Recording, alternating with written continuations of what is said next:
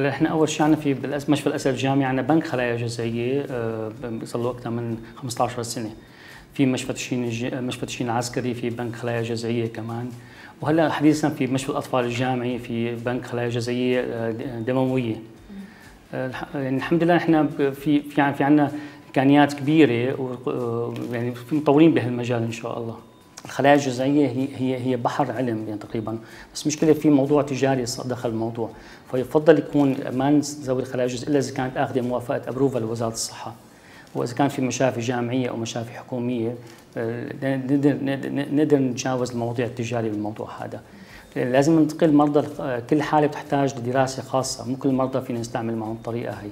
هلا إحنا أكثر الاستعمال الخلايا الجزئية طبعا نحاول ناخذ خلايا آه، جزئية ثانوية مو بدئية ونعالجها ونطلع منها mesenchymal stem cells الخلايا المدافعة عن الجسم لعلاج تنكس المفاصل. آه، في حالات ثانية كمان استعملناها إذا في عندنا نخره جافه بعنق الفخذ عند الشباب. طبعا في جراحات تجميلية آه، للأسف الجراحة العصبية شوي الخلايا تبعتنا صعب تتميز لخلايا عصبية. فنحن ساعتنا في أبحاث بالمجال هذا. هلا إحنا بناخذ الخلية الشحمية نفسها؟ ومن في في في كذا طريقة بس أحد الطرق اللي جيمس بناخذ خلية نغسلها. في في مثل جهاز خاص kit بيجي خاص آه، لهالطريقه من آه، من نعمل غسيل و washing للخلايا هي وبنحطمها ونعرضها ل mild trauma بسيطة. ال trauma هي بتطلع منها خلايا mesenchymal stem cells. الخلايا اللي بسموها المدافعة عن الجسم وبعدين بنكثفها وبنحقنها بمفصل الركبة. آه، يعني بنحقنها مفصل الركبه بالتنكس درجة ثالثة تقريبا.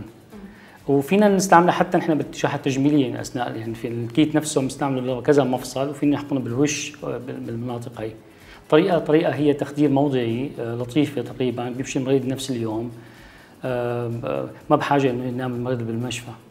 طريقة جدا حديثة. صراحة إحنا أول عملية سويناها بسوريا بعام 2016 مشفى الشامي. والمريضة لحد الآن أمورها ممتازة. كان عندها طم... مريضة تنكس درجة ثالثة وتمزق غضروف يعني أنسي آه، آه، تمزق غضروف. هلأ أنا شغلة ضفتها على الطريقة الإيطالية هي إنه أنا بعمل تنظير لمفصل الركبة. تنظير قبل ما أسوي حقن خلايا. يعني التنظير تبعي عشان أقدر نظف المفصل الركبة من الحطام والغضروف المتمزقة. وقدر أزرع على أرضية جيدة.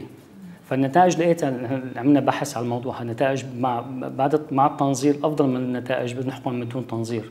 إحنا في حالات نستخدم الطريقة هي طريقة ليبو جيمس بحالة النخره الجافه لعنق الفخذ درجه اولى، النخره الجافه بنعرف إنه إنه في في في تحت رأس الفخذ في قسم الحامل الوزن تحته بصير في نخرة بالعظم. فنحن بنعمل عملية تثقيب للمنطقة هي ونزرع الخلايا الليبوجينز بالمنطقة هي عشان تعيد بناء حالها، النتائج عندنا سحرية بصراحة أكثر من 25 شاب صغير كانوا مرشحين لتبديل مفصل الركبة تحسنوا نسبة النجاح تقريبا فوق 90% كانت. طبعا الخلايا الجذعيه هي هي هي أبحاث وفي شيء واعد.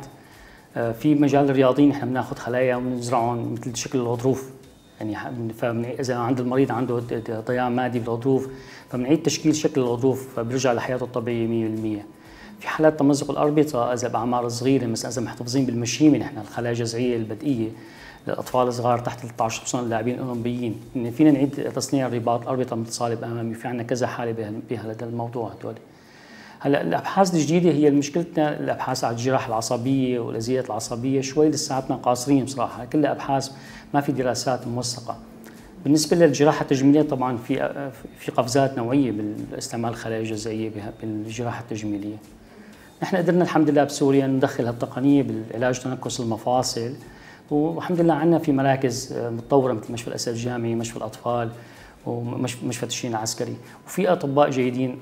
وإحنا كلنا عم كلنا عم نوثق الأمور وإن شاء الله كل يوم كل يوم لقدام إن شاء الله.